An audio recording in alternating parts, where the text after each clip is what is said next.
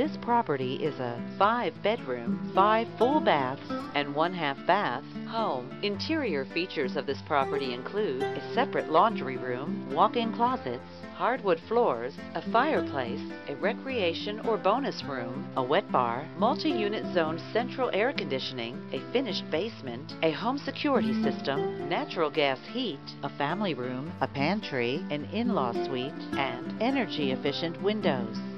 On the outside, this property features a wooded lot, a garage, a deck, and a stucco exterior. Community amenities include a swimming pool, a tennis facility, and a community clubhouse.